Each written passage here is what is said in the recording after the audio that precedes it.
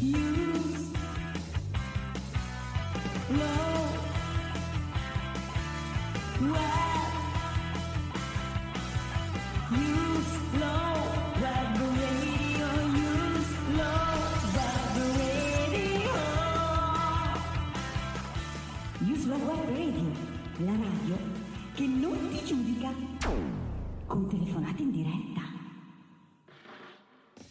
Venerdì 22 gennaio 2021, ore 9, svegliati avvocatura, on air.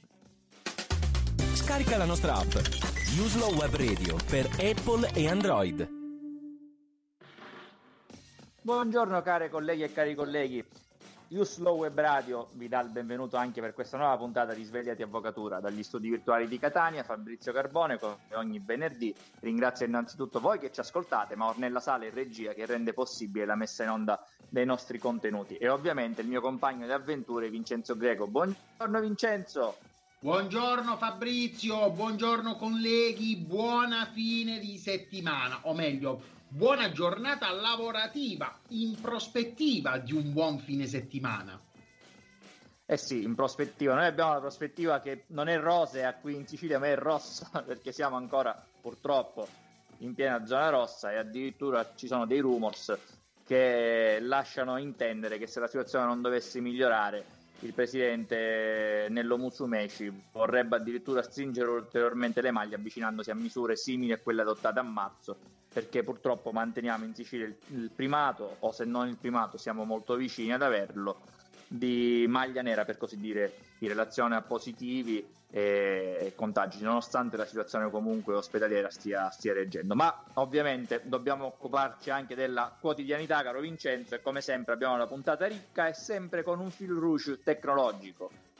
E infatti Fabrizio, oggi ci occupiamo di furto da dati mobili e eh, ancora ritorniamo sulla questione della privacy e quindi di GDPR tutela delle credenziali. Se mi dai il permesso lancerei direttamente l'intervista curata come sempre dal nostro Angelo Marzo all'avvocato Monica Belfi. Eh, si occupa del gestore telefonico O, O Mobile è il furto dei dati e gli obblighi normativi per l'operatore telefonico. Ma prego dalla regia. Silenzio in aula! Si dichiara il sistema colpevole di lentezza e complicatezza. Con il processo civile telematico, il processo tributario telematico e la fattura elettronica, la giustizia italiana fa un passo importante verso la digitalizzazione. Sistemi, grazie all'esperienza maturata a contatto con i professionisti, offre Studio, il software che permette di gestire con efficienza le attività degli studi legali.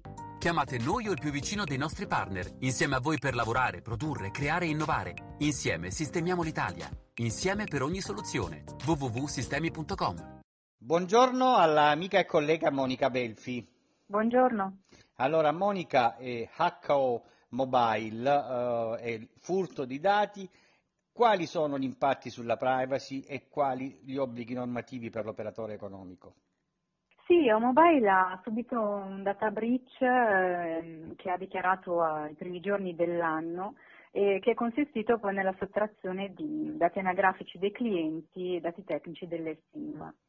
Ehm, il- l'operatore ha dichiarato di aver denunciato i fatti all'autorità, eh, di aver informato il garante e ha fatto una comunicazione agli utenti sia tramite internet sia tramite eh, messaggi one to one. Quindi in questo caso eh, è bene interrogarsi su quali sono ehm, gli obblighi che incorrono nel caso in cui eh, si trovi di fronte a una violazione dei dati personali, eh, ma anche a quello che è bene fare eh, in tempo di pace per Certo. prepararsi nel Eh, caso sì. in cui dovesse occorrere e quali sono insomma comunque gli obblighi normativi da osservare.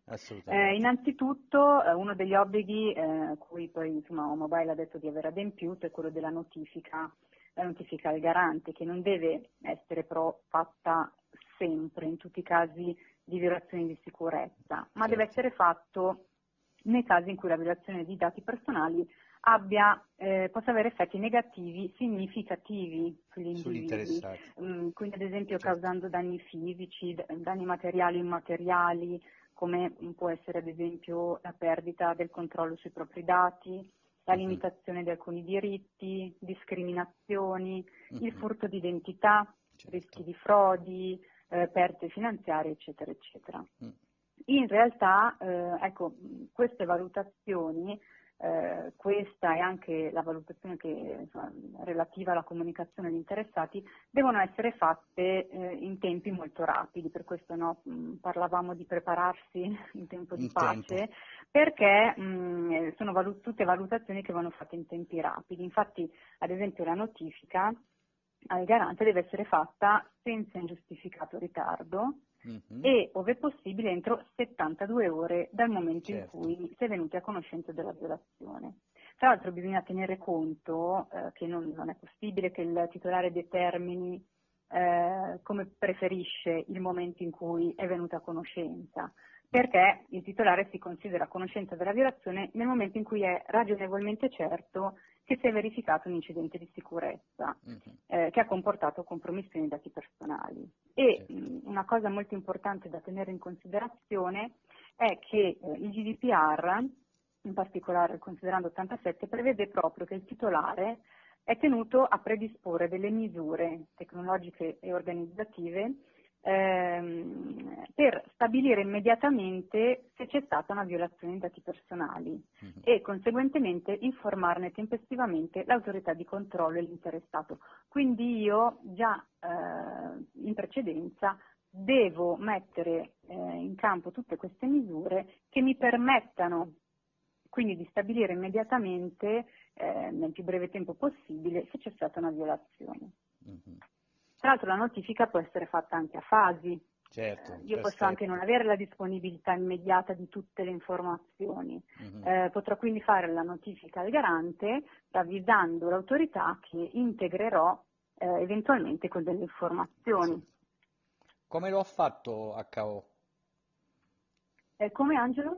Come, come HO ha informato gli interessati, o meglio i clienti poi attaccati, no?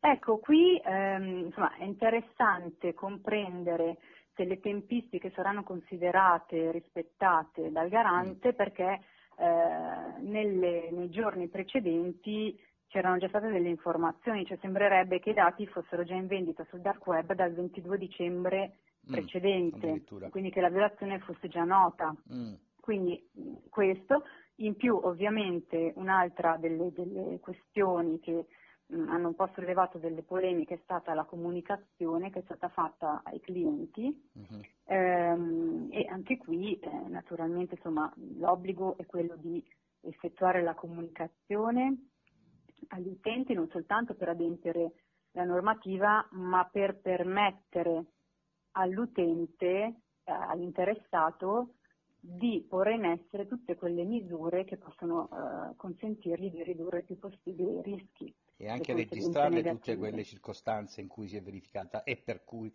si è verificata la, la violazione, no? Esatto, e quindi ehm, è, è sempre, ehm, è sempre bene eh, individuare anche tutte quelle misure che possano permettere no, di eh, ridurre eh, le conseguenze, di, non solo di risolvere la violazione, perché magari non sempre è possibile, ma sicuramente di, risolvere, di ridurre le conseguenze negative. Ehm, tra l'altro anche nel, appunto nel, nel caso della comunicazione agli interessati, ehm, questa non è eh, necessaria sempre, però è necessaria tutte le volte in cui la violazione possa eh, presentare dei rischi elevati Eh beh, per la- i diritti le la, libertà la delle SIM era stata aggrabbata nei dark web, nell'ICCD, cioè le SIM erano sottoposte, infatti poi mi pare che sia stata anche consigliata la sostituzione, ma poi subito dopo probabilmente sono state tutte eh, bloccate, no? Mm, Sì, mm, O-Mobile ha dichiarato di aver rigenerato Esatto. automaticamente il codice seriale della SIM eh. in modo proprio da, da- Ma da ridurre. davanti a queste situazioni, che cosa ci, qua- eh, ai data bridge no? e alla gestione dello stesso, eh, mi pare che il garante ci dia delle possibilità di, di, mh, così, lavorare su quel, su quel momento.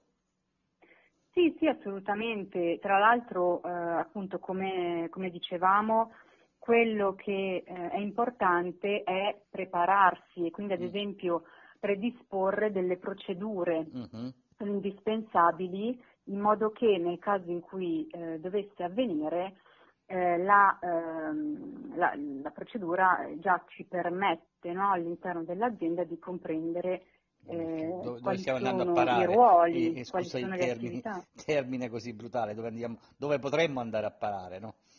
Esatto, esatto. Tra l'altro tutte le violazioni di, di sicurezza comunque vanno registrate, è bene tenere anche un registro in cui tutte le violazioni di dati personali eh, vengono inserite. Certo. No? E chiaramente le procedure interne sono indispensabili e anche eh, non soltanto procedure interne, ma ad esempio la, eh, l'adeguata gestione dei fornitori. Mm. Quindi mh, mm, è sempre bene anche regolamentare, no? magari nei contratti con i fornitori che siano responsabili del trattamento, quando certo. abbiamo delle attività che comportano trattamenti di dati personali in outsourcing, nei contratti regolamentare uh-huh. anche eh, tutte queste informazioni in modo che il fornitore ti dica qualsiasi, ti comunichi qualsiasi evento, qualsiasi incidente di sicurezza in modo tempestivo. Eh, ma anche se mi permetti, gli interessati o comunque i clienti, ehm, in questo caso parliamo delle telecomunicazioni, debbono fare attenzione anche a quanto versano dei loro contenuti nelle SIM, come lo fanno e, le, e la sicurezza che adottano, no? al di là poi del, del gestore che deve assicurare questa difesa. Certo, il titolare ha tutta una serie di obblighi e poi chiaramente il singolo interessato deve fare il eh. possibile anche per proteggersi eh. per proteggere i propri dati personali, certo. Bene, grazie Monica e una buona giornata a te. Grazie a te, buona giornata. Uslove Web Radio, la voce dell'avvocatura. Abbiamo ascoltato questa interessante intervista, sappiamo benissimo che le compagnie telefoniche stanno aumentando, alcune sono poi ricollegabili, riconducibili ad aziende molto più note e quindi è un settore che va certamente monitorato e su cui noi manterremo vigile eh, anche l'informazione. Ma è il tempo di passare ad altro argomento e ascolteremo l'intervista curata anche questa dal nostro Angelo Marzo con l'avvocato Stefano Corsini che ci parlerà di GDPR, credenziali di accesso e tutela. Tempo e spazio per il contributo. Hai qualcosa da dire? Hai qualcosa da dire? Contattaci webradio chiocciolaiuslow.it Buongiorno al collega Stefano Corsini. Buongiorno Angelo, buongiorno a tutti. Allora, uh, Stefano, parliamo di qualcosa che può sembrare banale, ma d- d'altronde non lo è. E il, cioè, mh, diciamo, nella sua uh, uh, conclusione finale il data breach è qualcosa di, di pericoloso, ma mh, con te oggi ci vogliamo chiedere come mai cioè, mh, i data breach sono più frequenti e soprattutto eh, nella, in percentuali quali sono le cause? Beh, le cause di una violazione di dati sono molteplici. Eh, nel sentire comune, parlando con uh, imprenditori, con i clienti in generale, quindi anche mm. studi, ordini professionali, spesso la violazione del dato è considerata come una violazione proveniente dall'esterno, quando in realtà invece, secondo me, eh, bisogna considerare anche il fatto che il data breach, quindi un accesso indebito dei dati personali, una modifica, un'alterazione non autorizzata, può essere anche dovuta a, um, ad una causa da ricercarsi internamente alla struttura del titolare. Mm, certo. Infatti ho recentemente ho scritto appunto di questo, che il 74% del, 64% delle violazioni dei dati trae origine da un abuso di credenziali privilegiate quindi una mancanza di controllo degli accessi, okay, di una politica di controllo degli accessi efficace ed efficiente, può portare chiaramente ad, un aumento del rischio di data breach, di violazione di dati. E cosa bisogna fare Stefano? Innanzitutto bisogna definire eh, esattamente chi ha accesso a quali strumenti, a quali risorse, ma non solo chi come persona, anche eh, quali, quali applicativi hanno accesso a determinate risorse o asset. Credo che il problema sia sempre più rilevante anche considerato il fatto che adesso con l'industria 4.0, ok, ormai diciamo la parte della sicurezza informatica si è spostata eh, anzi si è estesa più che spostata anche al reparto produzione dove eh, fino all'altro ieri eh, c'erano solamente eh, gli operai che lavoravano su macchinari privi di qualsiasi unità logica mm-hmm. o di qualsiasi macchina elettronica. Ecco. Quindi questo è un aspetto sicuramente da considerare, ma soprattutto cosa bisogna fare? Bisogna, eh, secondo me, rispettare eh, fedelmente il principio del need to know, ovvero tutte le persone che a vario titolo vengono a contatto con i dati personali per lo svolgimento del proprio servizio, delle proprie mansioni, devono avere un accesso limitato alle informazioni, alle risorse che gli competono, che gli servono dispone anche i principi di, di, di, necessità, i principi di proporzionalità, i principi di minimizzazione anche dei dati, ma soprattutto riduce il rischio di una condivisione indebita, di una perdita, di un'alterazione. Certo. E quindi un, okay. una, una, situazione di, compl- di, di, di, controllo, o meglio, quello che poi eh, si chiama eh, più frequentemente con un audit ben strutturato e soprattutto con l'attenzione a, a tutte le parti di struttura di un'azienda o di una società, no?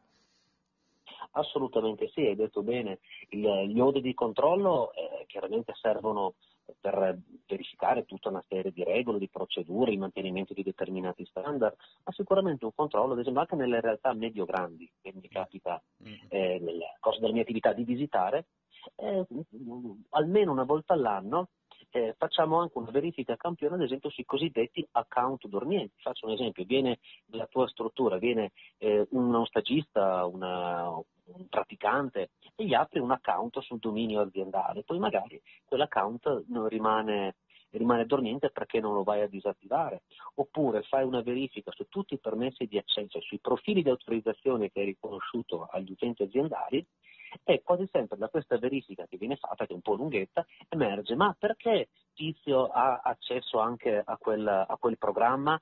Allora viene fuori, sì, l'abbiamo sbloccato per un tempo limitato ancora a giugno dell'anno scorso, ma poi ci siamo dimenticati di disattivarlo. Vuol dire che quella persona ha accesso ancora ad una, ad una banca dati, di fatto, eh, senza che sia più necessario.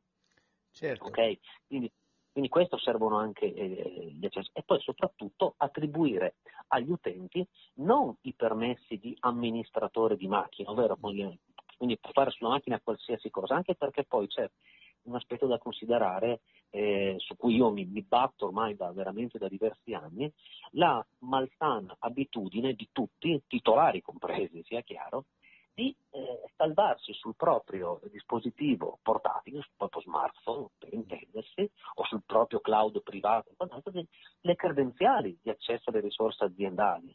Okay? Noi ci preoccupiamo della, della sicurezza della rete informatica aziendale, ma poi concediamo, tolleriamo o non vietiamo espressamente che ciascuno possa salvarsi sui propri eh, telefoni, sui propri dispositivi personali, eccetera, eh, che sono eh, del tutto eh, insicuri, a mio modesto parere, rispetto a un, un computer di studio, in un computer aziendale, e quindi ciò cosa fa? permette la, la, la, possibilità che credenziali privilegiate vengano in mano a eh, soggetti malintenzionati che poi chiaramente ne fanno l'utilizzo che ne fanno. Certo, okay. certo. E, infatti questo è il, uno dei cioè sono i problemi in cui ci si incappa. Stefano, grazie di averci chiarito i profili eh, e comunque le cause eh, che, che spesso portano al data breach e una buona giornata a te. Grazie a tutti e arrivederci. Uslog Web Radio, la voce dell'avvocatura. Cari amiche e cari amici, siamo giunti alla fine anche di questa puntata di venerdì 22 gennaio 2021 di Svegliati Avvocatura. Non mi rimane che ringraziarvi per l'ascolto, augurarvi un buon fine settimana e ovviamente la parola per i saluti finali a Vincenzo, non prima di aver ringraziato però ancora una volta Ornella e tutti voi che ci seguite quotidianamente. Grazie Fabrizio, ringrazio come sempre i colleghi, ringrazio te, ringrazio Ornella, tutto il comitato di redazione di Uslo Web Radio che lavora sodo per la messa in onda eh, delle puntate, soprattutto del programma Svegliati Avvocatura.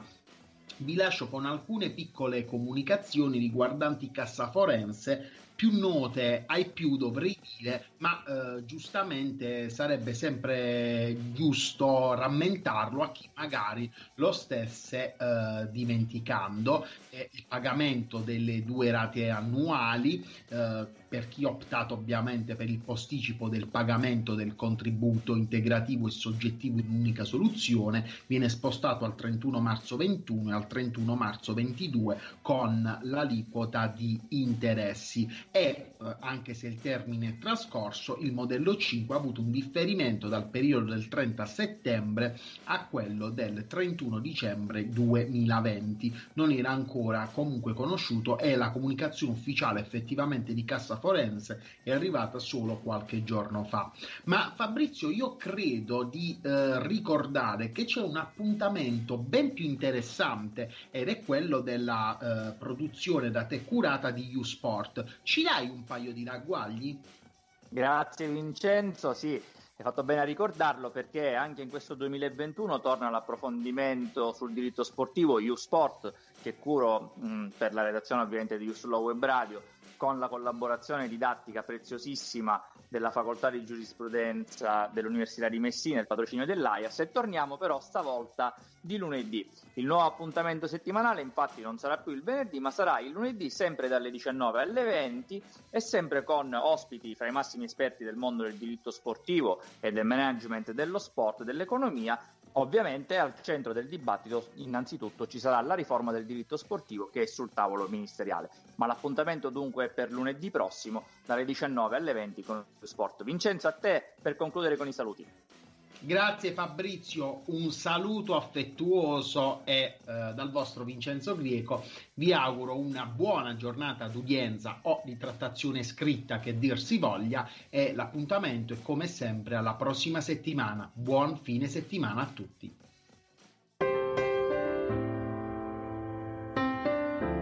Libertà e diritto per diffondere giustizia. È con la passione che si raggiungono i grandi traguardi e le frequenze di Uslow Web Radio pulsano di amore per la nostra professione. Questa è la radio degli avvocati che parla agli avvocati. In onda ogni giorno tutte le novità normative, gli approfondimenti e le interviste sui temi di attualità passano da qui. Uslow Web Radio, il vostro appuntamento quotidiano con la giustizia.